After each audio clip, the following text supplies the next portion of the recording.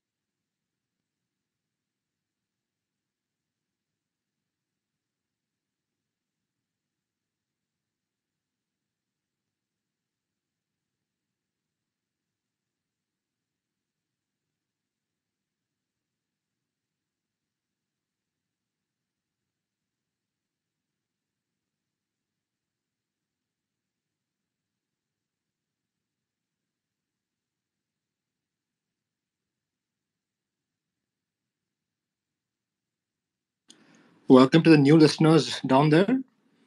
We're just waiting for a couple more speakers and we'll get underway in just about 60 seconds. How's everyone doing? Uh, La Liga Lowdown, Matt, Anand, Bombay Pena, PNM Kerala, Atleti India, Nihal. How's everyone doing, guys? I'm very well, Doing thank good. you. Doing Thank good, you, doing Suraj. great. You're doing good. Doing great. Doing great. How are you doing, Suraj?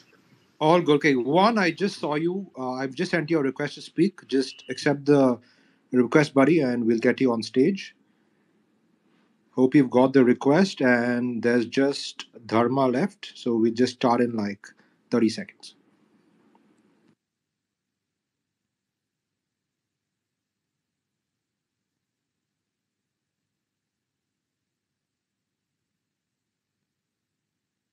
Okay, guys, it's 10 o'clock. That means it's time for La Liga Fam, episode number 10. It's a pleasure, of course, hosting you guys. My name is Suraj Balakrishnan, and we are, of course, you know, this is brought to you by MTV India and Voot Select, the broadcasters for the La Liga season in India for the next three seasons, actually. And it's an absolute pleasure to host you and to get all the promotional activities as well before the match day begins. With me is uh, La Liga Lowdown, lep- represented by Matt. Matt, welcome to the show. You're making your debut here. Yes, thank you very much, Siraj. It's great to be on here. Looking forward to uh, discussing all of the fantastic action um, from the past weekend and, and what's to come. Absolutely, Matt. Some great games, including a 4 3 thriller that we have to talk about. Next up is, of course, Anand, who's been here before, the co founder of FCB Mumbai. Anand, how's it going? It's going good, Suraj. Hope you're doing well. Great. Good to hear, hear from you, buddy. Uh, next up, of course, Bombay Penya, one of our regulars on the show, represented by Aditya. Aditya, you're making your debut. Nervous? Yeah, yeah, Suraj, it's great to be here. Uh, great people to talk with. Yes, this is my first one, and uh, looking forward to this one. Thank you. Fantastic, Aditya. Great to have a newbie in board. And of course, another veteran joining us, just like Anand, who's been here before, Anandu Sankar from Kerala. Anandu, Hi, how's- good evening, good evening, everyone. Kerala? Is it too hot? yeah, the things are getting so hot here, and also in La Liga, I guess. I'm actually also right now currently stationed in Kerala for a bit, so I can I can feel you, my friend. It is indeed getting very very hot. Let's hope the football as well. It's Oh wow! equally hot and equally warm in the weekend. So, looking forward to talking to you about Madrid's games. Next up, of course, representing Atleti India is another debutant, Arnab Mukherjee. Arnab, uh, welcome aboard and uh, tell us how are you feeling? Uh, thank you so much for the warm welcome. It's certainly very exciting because La Liga is extremely exciting, and you know, getting an opportunity to to discuss all these you know amazing games, it certainly fills me with a lot of happiness. And just looking forward to an amazing session, I would say. Thank you so much, Arnab. Great to hear that passion in your voice. Next up, of course, is the big daddy of La Liga, as we call him here, Juan Cobos Hernandez. Juan, it's been a while. How are things going in Europe right now? Good, good. Can you hear me well?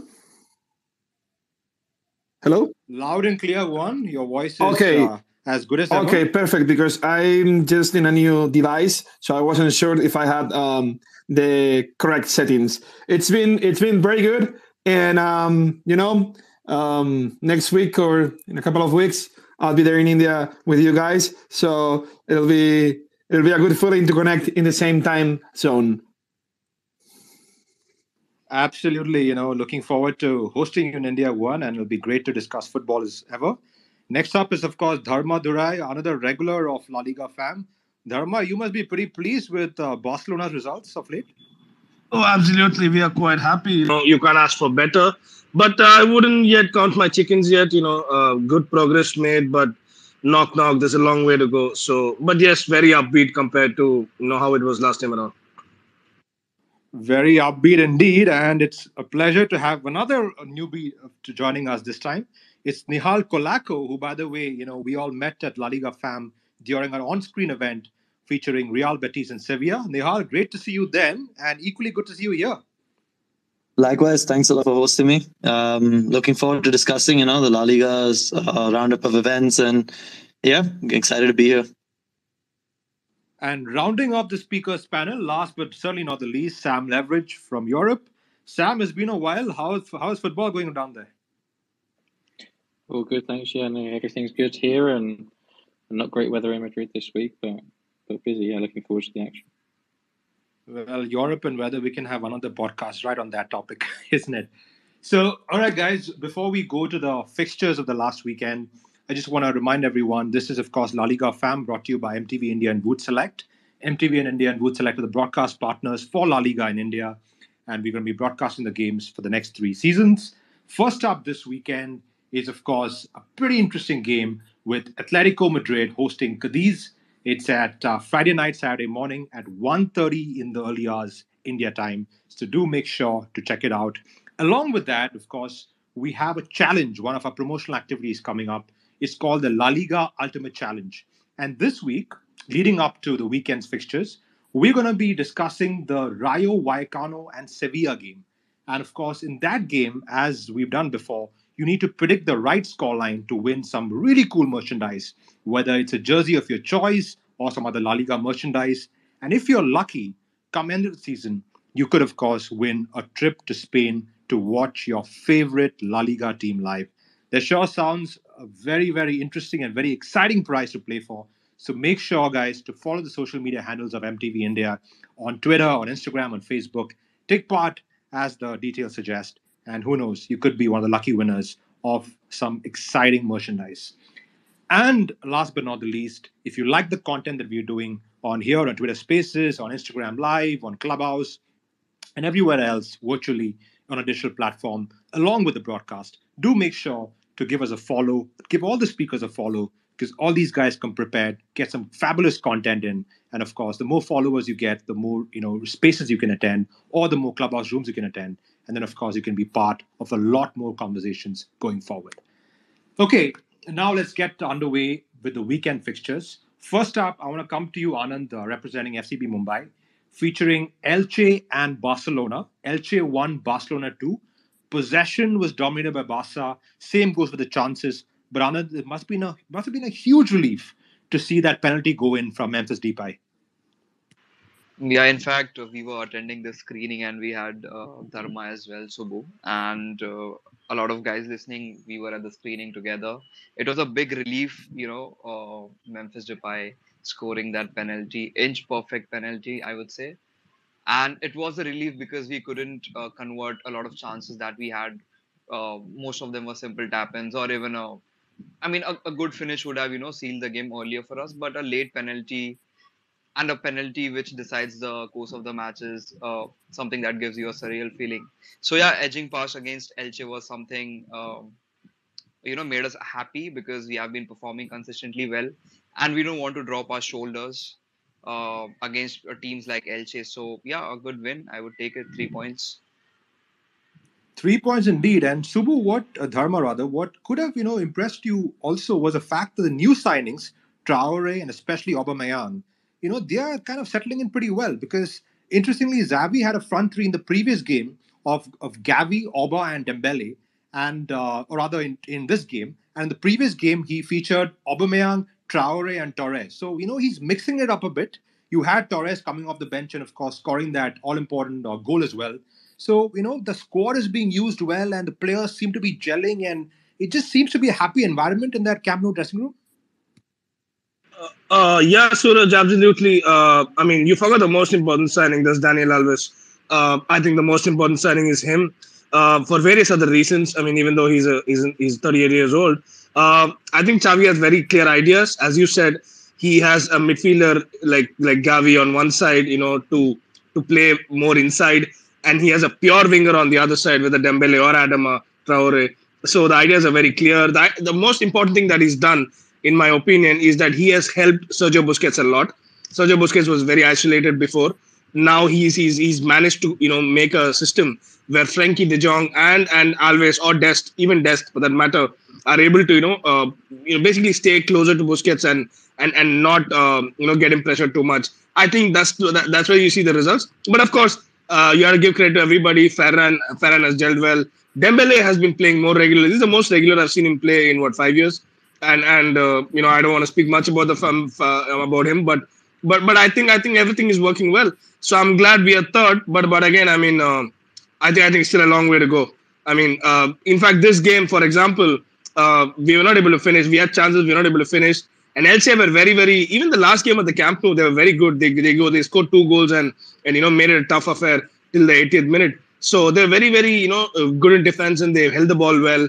So I'm actually glad we won. I mean, uh, I don't I don't want to you know dismiss of Elche as a 16 place team, but but they had a good tactics and right tactics against Barca. Right tactics indeed. And let me now get Matt from La Liga Lowdown, who of course is a great uh, channel featuring all things La Liga for the English speaking world. And you got to give them a follow, guys. We do some collaborations with them, and it'll be great to you know continue the partnership as well. Matt, uh, what is the you know word down the street in Europe, especially in Spain? Because Barca, you know, under Xavi after coming in, he was under a lot of pressure after disappointing results, you know, against uh, Madrid in the in the cup, and of course, you know, in the early stages of his of his reign. But now things are slowly but surely falling into place for him.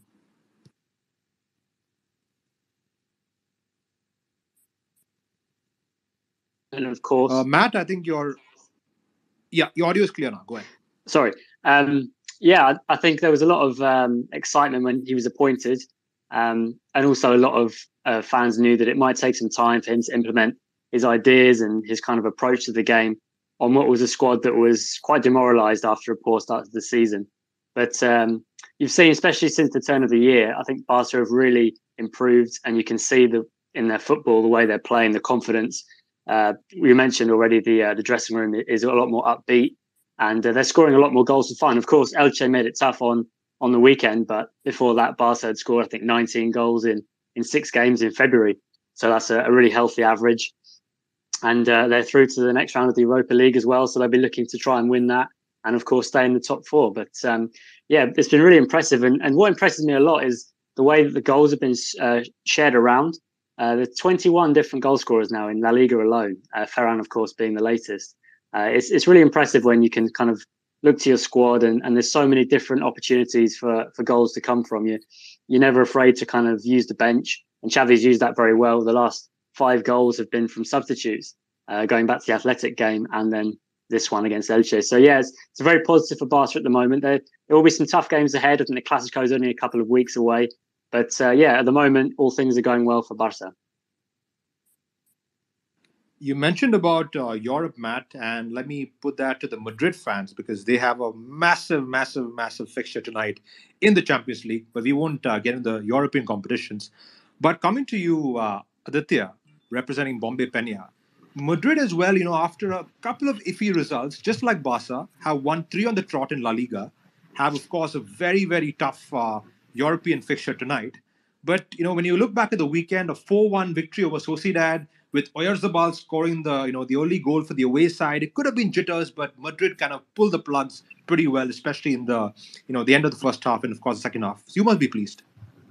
Yeah, uh, I think it was uh, uh, kind of uh, the scoreline. I think doesn't uh, say how big a victory this was because obviously it was a 4-1 victory, which is massive. Uh, it was a 4-1 victory after conceding a goal, which is even bigger. But the more important things were obviously Sevilla drew the same weekend, so that really helped.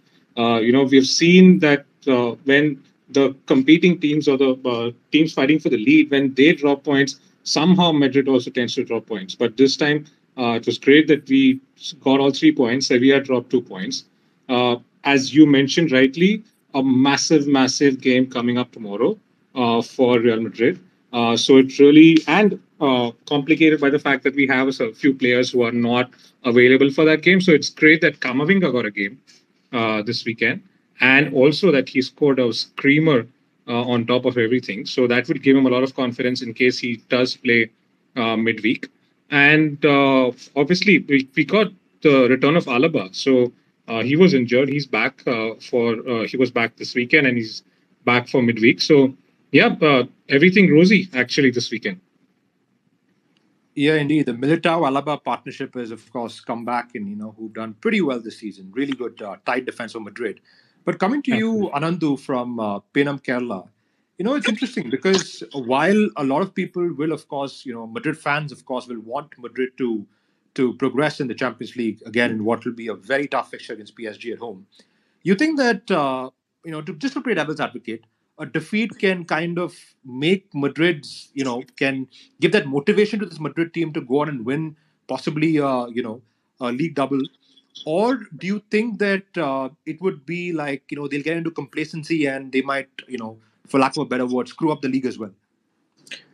Yeah. Hi. Uh, so good evening, everyone. So uh, the question is very clear, and yes, I think uh, I mean uh, the momentum is with us right now. So currently, uh, the match coming up tomorrow is definitely going to be one of the um, important, crucial fixtures in this season itself.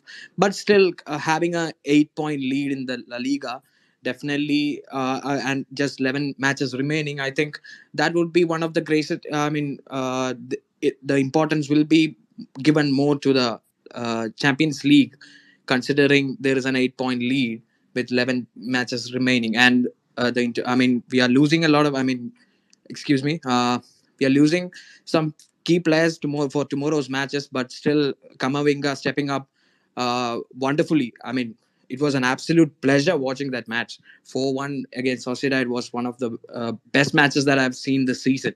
So I want that intensity of football both in the Champions League as well as the uh, La Liga. Yes. Demanding fans as ever. Yes. And, uh, you know, just uh, just on a side note now, going into Atletico's Madrid, Atletico Madrid's game, because uh, we have a lot to cover today. Let me get in Atleti India's uh, Arnab joining us uh, from uh, Kolkata, I believe. Arnab, uh, you know, Atleti again had another pretty good victory, an away from home win against Betis, who are doing pretty well this season, a 3 1 away win. And uh, you must be pretty pleased with the fact that after Betis scored that equalizer to, uh, you know, through Cristian Tello, you all didn't kind of succumb to the pressure and you actually took it upon, you know, the second half, you enforced the play and you got those two goals, which is pretty unlike Atleti's season so far, where you kind of, you know, succumb to the pressure and you kind of drop back, drop deep, and, you know, conceded those late goals. Definitely, it was a extremely welcome win because the season, like you rightly mentioned, it has been a very topsy-turvy one, and of course, who can forget that shock loss against Levante? So a hat trick of wins now, which hopefully would be converted into a fourth consecutive win. Of course, the win against Real Betis, I think one of the major factors would be the performance by Felix. I mean, we all know about his potential. He's a, you know, sublime performer on his day, but the manner in which he took on the leadership and grabbed initiative on a day when the team relied on him to get the job done, delivered the goods when it mattered the most, he stepped up. He became the key performer in a match which could have, you know, which could well go on to make or break the season. Because let's face it, the competition for the Champions League spots, it's heating up massively. And a defeat here or even a draw could have gone on to cost us massively. But then amazing performance. And one, one more pleasing aspect I would say is that we have got different scorers stepping up. Like in the last match, you had Renan Lodi coming on and scoring a brace. Now you have got somebody like Thomas Lemar coming out and scoring a late winner. So the confidence seems to be really high. And I would say a really good sign because, um, you know, after such a poor start to the season, which was completely unexpected, the team is again showing some confidence, some, you know, charisma on the pitch. We can see some signs of the old Atletico Madrid, which we all love. Diego Simeone, he's also, you know, showcasing why he's such a master tactician out there on the pitch. He's showcasing his dominance over the opponent. And long may it continue. That's the best way to sum it up. I think you pretty much summed up the entire game really well, uh, Arnab. But taking that to Sam, who of course you know has uh, his heart with Atleti, I think you wouldn't mind me saying that, would you, Sam? Talking about the No, game, sure. what's what's interesting is that Simeone started with a three at the back again. This time with Mandava, Jimenez, and of course Felipe at the back. And you know he had those uh, wing backs, which of course Vrsaljko, you know, getting injured and coming off. You think that he might stick with that back line now, going ahead? Yeah, I think he might do more through necessity than anything else because with the injuries and so on, I think Marcos Llorente is the only right back until Daniel Wass is back available. And so that means that Aleti kind of will have to go with, with that shape. I think that the last few weeks, Aleti looked much better in defence and, and especially kind of with Reinildo in the left central role. So I think it will be interesting to see how Simeone kind of adapts to that. But I wouldn't be surprised if they stick with what they had later on against against Betis because it seemed to work very well. Suraj, I have a small question to ask uh, Sam and Atleti. Uh, actually, can I? Go ahead, go ahead. Uh, I just wanted to ask you guys. You know, the first time I saw a lineup of Atletico. Typically, you know, Atletico always had a had a number nine or a centre forward, Costa or Suarez or uh, uh, Mandzukic or whoever, right? Or or that uh, there was this Slovenian uh, Serbian uh, striker also. I forgot his name. This is the first time I saw uh, them playing without, uh, you know, with with with Felix and and uh, and Correa, uh, and then later Griezmann and and Lemar. So there was no target man, you know, reference.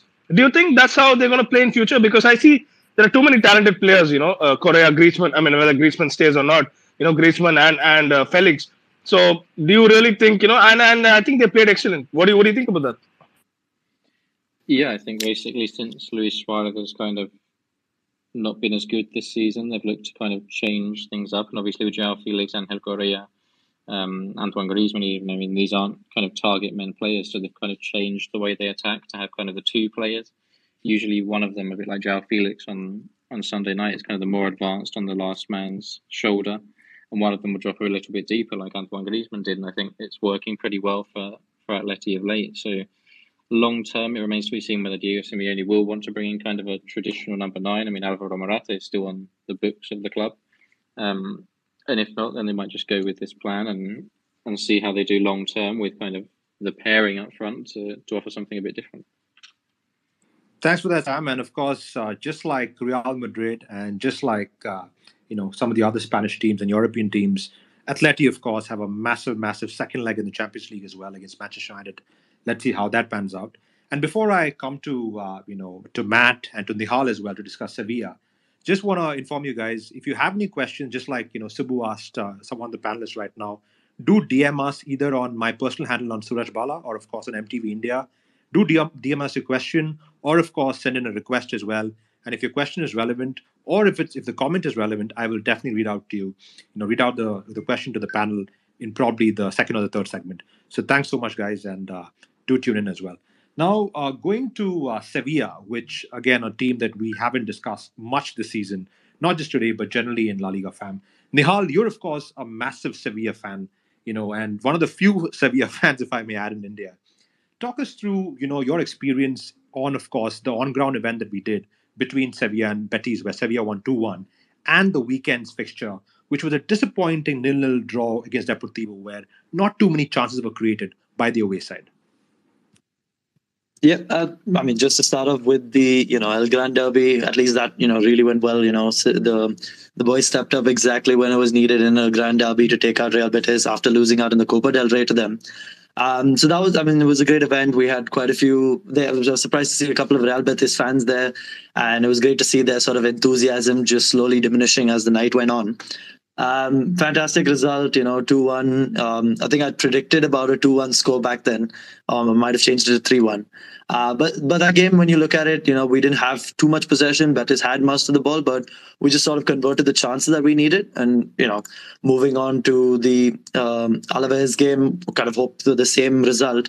But quite a few missed opportunities. Ocampos had a couple of uh, chances early on.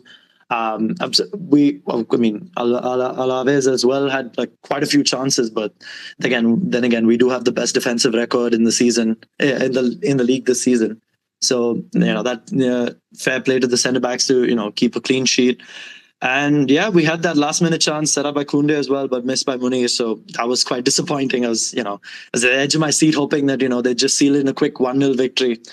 But I mean, that's that's been the that's been the case with a couple of you know on the road fixtures for Sevilla. You know, we've got four draws, I think, in the past 13 games, even though we've been unbeaten. But I feel like in a league such as this, where we need to catch up with Madrid, know, sort of every point counts. So, looking forward to the next few games, hoping they'll scrap out a couple of one 0 victories until they eventually meet me uh, match up with Madrid. And yeah, hopefully that gets you know that's where we'll really sort of pick off points from them you know, before I go to Juan who has been waiting very patiently, Nihal, I'm already getting questions on the back channel.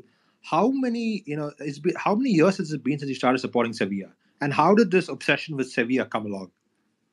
Um, it's been fairly recently, though. Um, I think it's it's about about two to three seasons only. Um, personally, for me, even where I work, also now with FC Bengaluru United, we've signed like a partnership with Sevilla FC, so that worked well in you know getting all inclusive access with Sevilla FC. So I started, you know, engaging with members from the from the club, and you know, it was just a very inclusive moment for me. So that's where the sort of um, the love for this uh, for the club sort of uh, started building on. Juan, uh, I'm going to get you in board. Apologies for making you wait a bit, but uh, what is your, you know, highlight of the weekend for you? And talk us through a bit about Sevilla as well, you know, and the stunning form that they've showed throughout the season. You mean like for the upcoming weekend or the past weekend? The past weekend, the past round of fixtures. Yeah, it has to be. It has to be. I mean, for me, there are two highlights.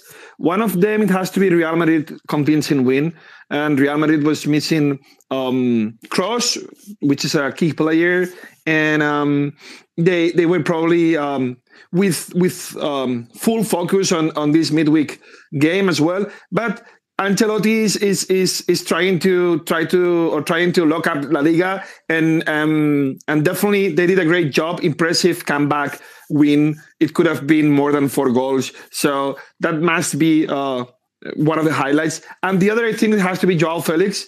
Joao Felix. Um, it feels like finally uh, Simeone is kind of um, giving up on him in terms of like okay, I have to put him in the pitch and and he's delivering. And it's not just like the both goals he scored, but the way he kind of like changes um, the offense for Atletico. Atletico looked much more um, refreshed this couple of weeks with um, with Felix, with Marcos Llorente in good shape. Now with Griezmann starting in the eleven as well. So they, there's another team that I believe it's it's it's going to go up for the for the last part of La Liga, and I think it's going to be uh, solid in the top four.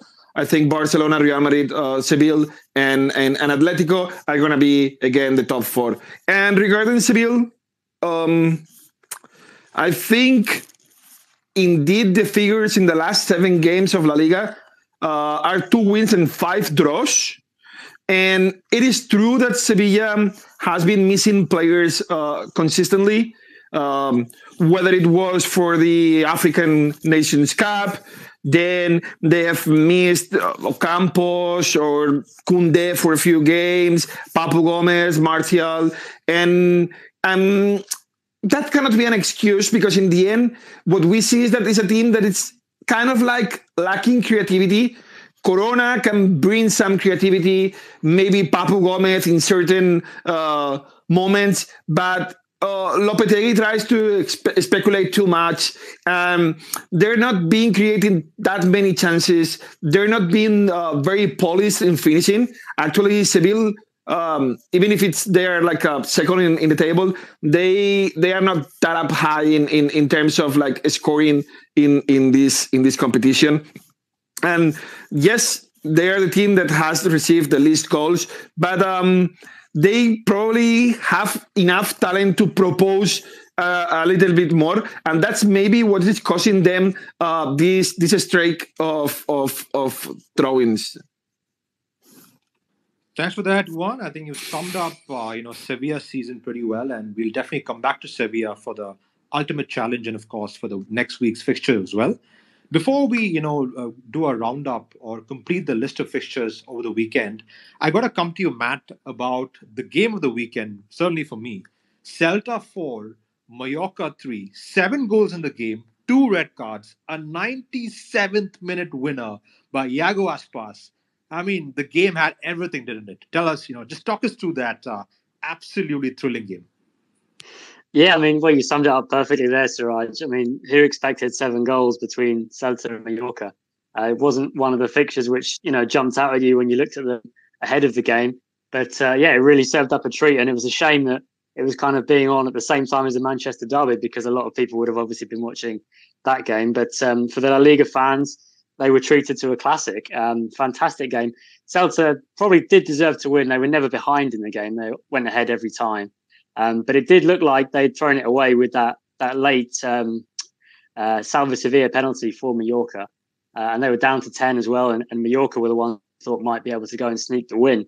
But then again, another handball, which it's been quite a theme this weekend. Some of the handball calls and a few fans are not too happy with the way that's being interpreted by referees. But that's that's another thing.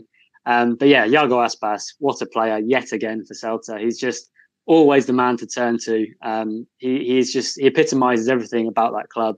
Uh, and two goals on this game, and uh, yeah, where would they be without him? I mean, they probably would have got relegated a few seasons ago. He kept them up pretty much on his own, and uh, I must say, I was hoping Celta would push forward for for Europe this season. I thought they had a chance with the squad they had, but they've been a little bit inconsistent. But this was a game that they definitely um, showed their best and and also their worst defensively. But it's interesting. Chacho Coudet, the coach, before the game, he was saying he likes to play attacking football, and he'd always prefer to win four three than one 0 And of course, it was almost like he'd seen it, in, you know, in the in the distance that this was going to be the result. So, yeah, really thrilling game, and uh, again, it shows the depth of La Liga, and there's a lot of quality players in in, in every team, really. So, yeah, one to definitely celebrate.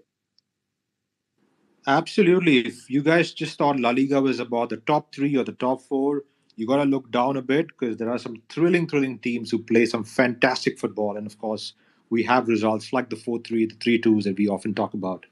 Now, talking uh, just a bit about Aspas, which uh, Matt just mentioned. Remember, guys, he's on 13 goals as of now, number two in the goal scoring charts, seven behind uh, Karim Benzema. So Benzema has a very good chance to, you know, get the Pichichi, but uh, who knows? Aspas, if he gets a run together, he might, of course, challenge them towards the title. And talking about Aspas and Benzema, we also have a title race to discuss. Sevilla right now are just about eight points behind Real Madrid. And uh, just before we do that, just a reminder, guys, I can already see your questions coming in on the back channel and also quite a few predictions on our MTV India page as the space has been undergoing about the Rayo Sevilla game. So do you know send in your predictions for the weekend fixture as well. But uh, before we go to the you know the title race, just a reminder, guys, if you like the content that we're providing, do give us all a follow. Do follow the MTV India channels, of course, on Twitter, on Instagram, on Facebook. We do a lot of promotional activities before the weekend fixtures. We do, of course, aside from the broadcast, we do a lot of digital campaigns, virtual live parties like the one I hosted between Barcelona and Atletico Madrid, where guys come India joined us, and plenty, plenty more on the horizon. So do give us a follow and do, of course, tune in to the MTV India handles to follow all the exciting contests and the prizes that, of course, you can win. And another reminder, this Friday at 1.30 in the night, that Saturday morning, India time, it's Atletico Madrid hosting Cadiz. That's the first fixture. This, of course, brought to you by MTV India and Voot Select for the Indian subcontinent. Now, getting into the title race, guys, and this is something that, again, we haven't spoken about that much in the past uh, La Liga Fam episodes. Let me come to you, uh, Sam. Sevilla right now eight points behind uh, Real Madrid, having played the same amount of games, 27. Barcelona having one, you know, played one game fewer on a stunning run now at 48, 15 points behind uh, Madrid. Atletico again in the same, uh, you know, same points tally, but having played one game more.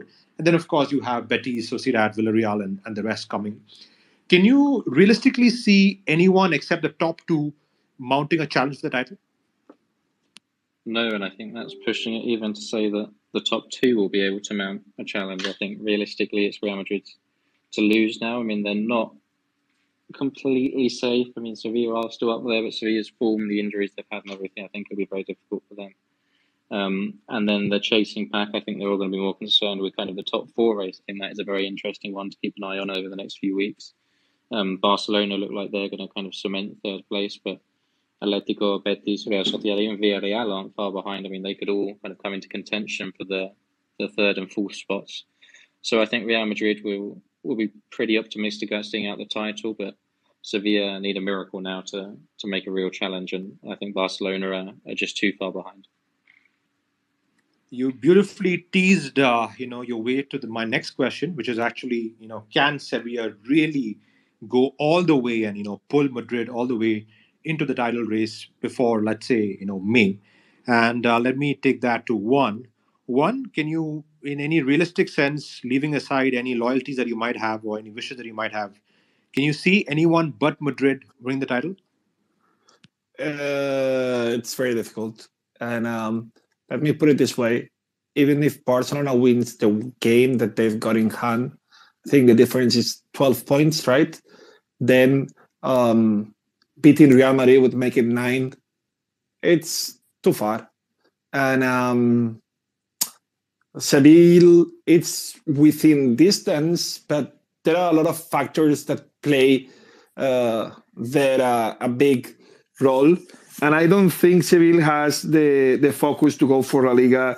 I think I think Real Madrid can still lose points, and we can see uh, the competition opening up, but um, it'll be difficult. Yeah. It will be difficult for Sevilla as a consensus out here, and I don't think too many will disagree, to be fair, except the most optimistic of Sevilla fans. Maybe Nihal will disagree. Yeah, Suraj. So basically, yeah, so basically, so basically, I understand. Well, hold on. I understand that um, La Liga is still open. There's like still like what ten games to be played, maybe a little bit more, depending on, on the team. 11, 12. Barcelona, I think, is 12. Um, so there are many things that can happen, and you and we still have to to watch every game.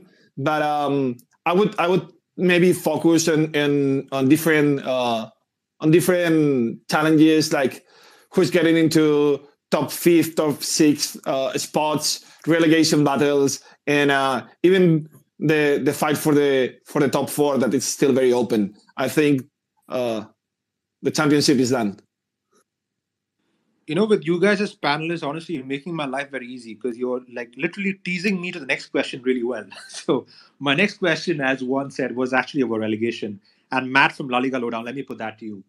As we discussed, you know, before the show, uh, right now between 15th in the table, Getafe, and uh, 18th, that's Cadiz. There's just a three-point difference, right? Cadiz on 24 and Getafe on 27.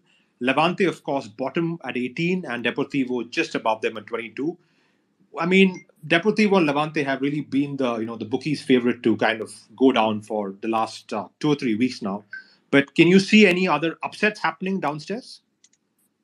Yeah, I think in the last few weeks the relegation picture has really tightened up. I think maybe say in January, I think the bottom three were pretty far adrift, and uh, the teams above them were all picking up points. I mean, Elche and Getafe have both changed their coaches before Christmas, and and they've been revolutionary in in the way they've recovered. I mean, Getafe looked dead and buried after about ten games, but now they've pulled right clear.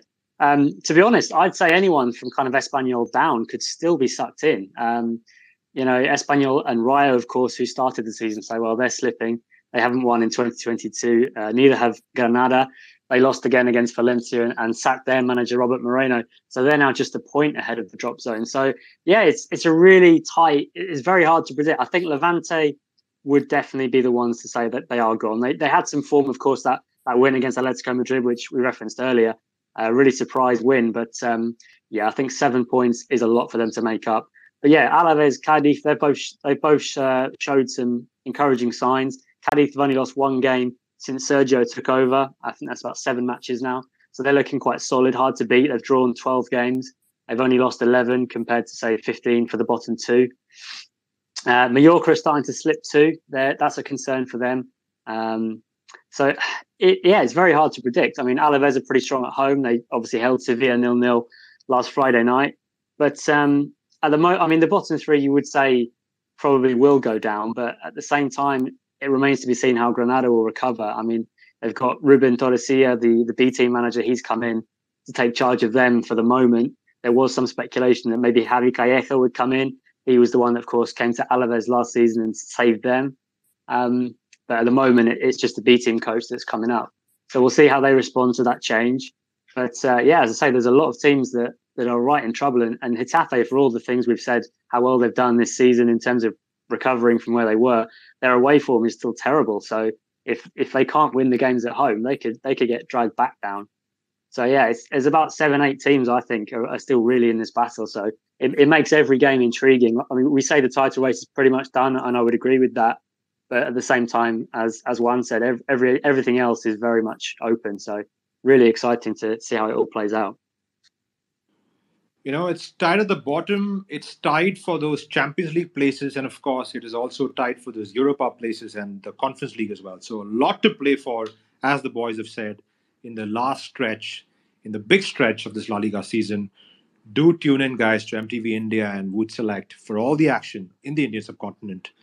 It's of course brought to you on your screens after a couple of seasons, and it's going to be great to catch all the action starting this weekend this Friday night, Saturday morning, is Atletico Madrid hosting Cadiz at 1.30 in the early hours of Saturday. Do tune in, guys. All right, before we go to the weekend's fixtures, the upcoming fixtures, that is, we've got a few questions coming up, and we also got one of the listeners joining in, Balvinder Paji. I'm going to send him the invite once again. First up is a question by a Barcelona supporter, and uh, either of the boys, Anand, I think you, uh, Anand from FCB Mumbai, you can probably take this question. One of the fans, Rohan, asks, is Aubameyang and Barcelona a match made in heaven? As straight as it gets, what's your what's your take on it? Uh, like we discussed in the previous session that we had, how, how Aubameyang has been a successful goal scorer and he can actually fit into any team as a number nine, someone who can score from inside the box and also from outside the box. So I mean, you can term him as a you know match made in heaven or any sort of fancy words that you'd like to use. But a player of Aubameyang's caliber can fit into any team and can you know bang, bang goals as and when you want. So yeah, uh, the signing of Aubameyang has been very fruitful for Barcelona, and also he has a point to prove to his previous employers that he's still useful. So yeah, I mean, whatever he's doing on the pitch, he's doing right for us. Uh, of course, there's always a room for improvement, and we hope that he keeps on improving and keeps on scoring more goals. Aubameyang in Barcelona, maybe maybe you guys are right. Maybe it's a match made in heaven, Rohan. That's the answer to the question. Okay, we also have from the audience Balvinder Paji, one of our sports handles who's been a regular listener on this uh, on this space. Balvinder, what's your question or your comment for the panel? Hi, Suraj. Uh, thank you for this opportunity. And um, more power to you for holding such beautiful, engaging discussions. Uh, so I will just take a cue from the last speaker um, and and probably stick my guns to, quote unquote guns to Aubameyang question. Um, I think Aubameyang is definitely a match made in heaven, and I was just watching some videos where um, of his Borussia Dortmund time along with uh, Dembele. So I think both of them have gotten a new lease of uh, life and um, I think I think that is going to. I don't think Barcelona is going to win the season um, this time around, but definitely uh, I think they will leapfrog over um, Sevilla. Uh, so yeah, I think I, will I'll just stick to that for today. Thank you, Suraj. Thank you, Balvinder, and uh, great to have you. Okay, Nihal is having a very laughy emoji there. Uh, Nihal will come to you on that. But Dharma, as another Barcelona supporter, do you uh, you know do you agree with Balvinder that Barca is going to finish above Sevilla? Yeah, I do think that. I do think we'll finish second for sure. Uh, I mean, because uh, the momentum is very strong and uh, the quality of Xavi's football is, is, there, you know, for sure. But one thing I want to say is that Real Madrid are definitely going to win La Liga because uh, I think uh, basically the the senior players, uh, Modric, Benzema, and Kroos. I think they they they realize that they they haven't won many La Ligas due to various reasons uh, partly due to Messi and, and partly due to Atletico winning last time. So I think uh, they'll go for it. They will. They're not gonna you know lose in any way. Even even if Barca were maybe Barca were where Sevilla is now, right? I mean where they put pressure week on week, you know, with results and you know not not drop points. Then that mental pressure will show. But otherwise, Real Madrid, I don't think I don't think they're gonna lose at all for sure, uh, definitely. And uh, talk, and I agree with Anand on Aubameyang uh, the only thing is that you know I was not very sure about how he'll fit in because Xavi wanted someone who'll play with his back to goal, you know, like Morata. Uh, but uh, but Aubameyang has fitted in very very well, and, and he offers something very very different, especially on counterattacks. You know, him and him and Dembele are excellent on counterattacks, and uh, in that sense, you know, like he has adapted, and we have also adapted to him. So I think it's worked out very well, and I definitely see him continuing maybe for a couple of years more. All right, guys, we've just got about 50 minutes left. Normally, you know, we don't do as many audience uh, questions, but I really want to get the audience engaged and, you know, to get as many questions answered from the back channel. But for paucity of time, we're going to have to switch to the La Liga Ultimate Challenge, which, of course, is now being featured in the promotions of the MTV India sites on Instagram, Twitter, Facebook. And this week, we want you guys to predict the scoreline of Rayo Vallecano hosting Sevilla. Sevilla, of course, number two in the table, as we discussed. And let's have a very quick round of rapid fire scoreline predictions, just the predictions across the board. So I'm going to start off with you, Sam. What's your prediction for Rayo Sevilla? 2 0 Sevilla. I think Rayo's home form is, is going off the boil, and I think Sevilla are going to need the points. So 2 0 Sevilla. Next up is Matt from La Liga Lowdown. I'm going to uh, I'm going to go one 0 Sevilla. I think they don't score enough goals away from home, and and yeah, Rayo are are in bad form, but at home is is slightly more better. So I'm going to go one 0 Sevilla. Next up is Anand from FCB Mumbai. Uh, I'll go 2 1 for Sevilla because they have been in a good run of form. But I think Rayo would squeeze in a goal, also the home advantage to them. So it would be 2 1 to Sevilla. Dharma, what about you? Uh, one one. Okay, we have a one draw finally. So someone going against the trend. Next up, of course, Aditya from Bombay Penya. Aditya, what about uh, what, what's your prediction? I think uh, it'll be a tonal win for Sevilla. I think they'll do well to uh, keep up, and this should be an easy fixture for them, even if it's away. The other Real Madrid supporter from Kerala, Anandu Sankar. Yeah, I honestly hope that uh, uh, Sevilla loses. But realistically speaking, I think it will be a 2 0 win for Sevilla. Was that, you say 2 0 win? Yeah. Okay, 2 0 is a pretty popular scoreline here in this uh, prediction round. Next up, Atleti India. What's your prediction, my friend? One all draw. Okay, we have another one all draw. One. The Big Daddy. What's your prediction? 1 1. And finally, Nihal, the Sevilla fan, the lone Sevilla fan in the panel. Nihal, you got to see a Sevilla win, haven't you? Yeah, hundred percent. I'm I'm quite surprised that they, you know, just because we've had a previous draw, that we're not going to expect another draw. I mean, I kind of I've lost the last five games, 13th on the table. I think this will be a 3 0 sweep. I got to agree with Sam in terms of a 3 0 victory for Sevilla. All right, and let's finally close it with Balvinder. Balvinder from our audience. Balvinder, what's your prediction for Rayo, Vallecano, Sevilla? I will. Um, I will stick with the Dharma's opinion this time. I think let's give Dharma a chance to one-one draw. My goodness, Dharma and Balvinder, Balvinder agreeing on something that's a rare commodity these days. But uh, as you guys were talking, a lot of comments are coming in on the MTV India's Twitter channel where we promoted this uh, contest. And the majority are, of course, going for a 2 1 scoreline, 2 1 in favor of Sevilla, which is uh, pretty much what the panelists have said on the panel here as well. So thanks for that, guys. And remember, guys, there's still some time left, around three or four days left for this challenge. So if you want to win some La Liga merchandise, or of course, at the end of the season, win a trip to Spain. Do you know? Send in your scoreline on Twitter, on Instagram, and of course, make sure to follow and tag the MTV India handle as well. Thanks, guys. And now, finally, we've got 30 minutes left for the show. Let's look ahead to the weekend fixtures, starting with Atletico Madrid hosting Cadiz. Let's uh, take it away, Sam. What's your reading of uh, this game, and will you be at the at the stadium watching the game? Yeah, I'll be there on Friday night. It's I can't think of a time that Atletico have ever played on Friday night at the Estadio Wanda Metropolitano, so should be a good atmosphere. And Cadiz, I mean, they're picking up some form of late, but I think Atletico are as well. So this could be kind of a, a party atmosphere if Atletico can take an early lead, and and fingers crossed they'll they'll pick up the win. Arnab from Atleti India, do you guys feel that uh, Simeone is going to like stick with the same backline, or is he going to chop and change? Definitely, we see him sticking to what worked, and uh, we would all, always be, you know, optimistic about the fourth consecutive win in the La Liga. But then, you know, let's not jinx things over here because we have seen how things can really backfire when it comes to Atletico Madrid. Fingers crossed. That's the backline. That's the main thing I would say. Fingers crossed. You don't look that optimistic, uh, Arnab, but uh, you know. Well, can we be optimistic with Atletico, with Atletico Madrid?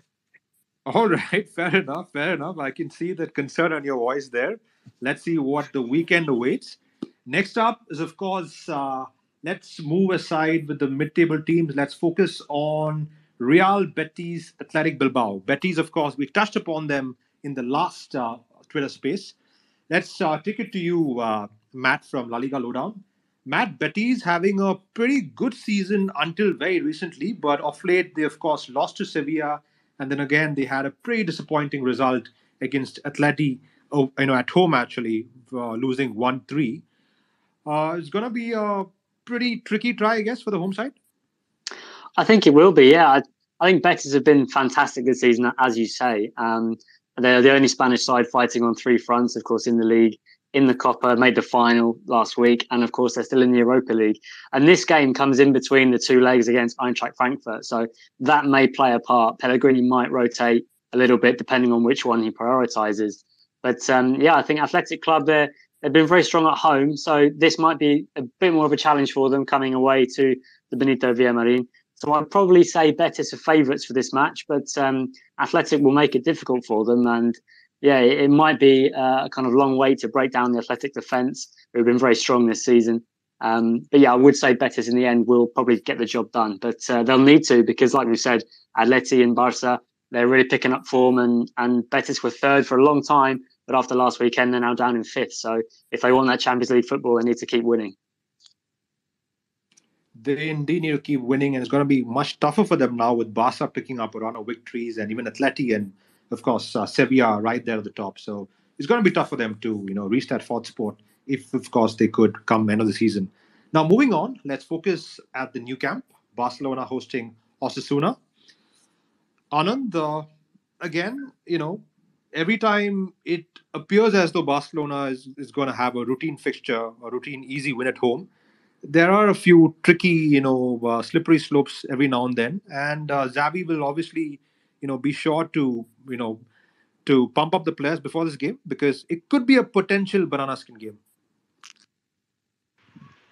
Yeah, I mean, uh, teams like Osasuna do uh, cause us some trouble, but I think uh, the atmosphere in the camp has been uh, fully charged since the Xavi ha- since Xavi has come in, and I think uh, this is the time wherein Xavi would like to continue the good run of form which which was there in Feb. Or else if he dips it would be said oh it was just a fluke that you know he did all the turnaround. So just to carry forward the good work that he has been doing i think he will surely make sure that we edge past the line and not slip even though will be you know a, it'll be a banana skin game okay dharma you mentioned earlier that you know dani alves is the most important signing that barcelona have done talk us through your reading of the situation why you feel so because of his quality, you know, in, in his touch and his tactical, you know, brilliance. About you know, he's not fast. He's not very fast, and uh, you know, he suffers also against uh, fast wingers. But then, but then his positioning and and he's just a quality. You know, it's just like Modric. It's fine wine. It, doesn't matter if it's old. You know, the, the quality has no match. Even though the you know the, the athleticism is not there. So but I mean, I, I think they spoke about it uh, in detail. So what happens is that but Frenkie De Jong is not able to wasn't able to play a good double pivot with Busquets. He because he always liked to attack and be a box to box, and he had that freedom in in Ajax and uh, you know with, with with another defensive midfielder. Here the problem was that you know Busquets was often alone. So so so the so the kind of you know the system that Xavi designed is that first you have uh, uh, uh, Alves you know occupying that space next to Busquets and he's able to do that job as a double pivot and secondly, there's a pure winger playing, you know, ahead. So you are not losing out on width also, you know, Adama Traore or, or uh, Dembele. So he's able to, you know, use Daniel Alves in the best of his qualities while minimizing the, you know, the cons of having a 38-year-old as your right back. I think it's a great signing. They're even going to renew him for one more year, even increasing his salary. And and apart from that, he's a champion. He's a champion who's won so many trophies. The spirit is the same, regardless of the age and they recognize that you need to have a player like that in your dressing room, you know, who can really who can really make a difference, you know, when, when the chips are down actually, where where your morale uh, is very important and your mentality is very important. So in that sense, I, and and he's Daniel Alves, you know, he's a legend of the club. He should have never left, honestly. So we are very glad that he's back, even at this juncture, even at the juncture of his career. So that's why you know it's a very good signing. Fair enough, Dharma. Thanks for the tactical analysis there. And of course, uh, guys, we're going to do the next piece right a day before the Classico. That is uh, 18th or 19th of uh, of uh, this month. So do tune in, and we will of course send out the promotions and everything right before we decide the timeline. Do tune in for that space, and it's going to be an absolute cracker of a game, I'm sure, with both Barcelona and Real Madrid performing so well. Now, Juan, uh, what do you think about uh, Mallorca hosting Madrid? You know, it could be a potential banana skin once again, as we discussed with Barcelona about an away fixture for Real Madrid. And you know, is it concerning for you as a neutral that you know Benzema is they're relying so much on Benzema to score those goals? There's a potential upset there, but um, it all will depend on Real Madrid's um, uh, performance midweek. If Real Madrid is competitive, or if Real Madrid is uh, exceeds expectations midweek. Probably um, the team is going to be um, even the the substitutes are going to be very high in, in, in terms of, of moral and and and I don't think Mallorca will have a chance. But if there's some, you know, chaos tomorrow and a bad loss and you know some trouble. Maybe mallorca can sneak in uh, a victory there. That's how i see it. I don't think uh, the the the reliance on benzema as a scorer is a problem. Actually i wish uh, my team had someone scoring 20 goals this season. And um and even you know they they keep creating chances. Vinicius will keep creating chances. Marco asensio will just, you know, get the ball and just shoot it from like 35 meters, which is what he does, and um, create a chance out of nowhere. You know, let me take that to Aditya from Bombay Penya. Aditya, while Madrid have a good squad and a pretty deep squad, like always, Ancelotti isn't a manager, you know, associated in the past with, you know, chopping and changing too much. So, do you think that there could be fatigue with the same guys playing you know, virtually at least the important guys playing week in and week out? Yeah, I think there is already fatigue. I think uh, we don't have to wait anymore to see the fatigue. Somehow, uh, uh, Luka Modric, I don't know what he's made out of, but uh, he's been, he seems to be like uh, better than the Energizer Bunny. He's, he's keep, he keeps going on and on. Uh, but we have seen injuries. Kroos is injured. He's coming back from injury, uh, hopefully for the midweek game. But Alaba was injured. He came back. I think uh, specifically for this fixture uh, for next weekend.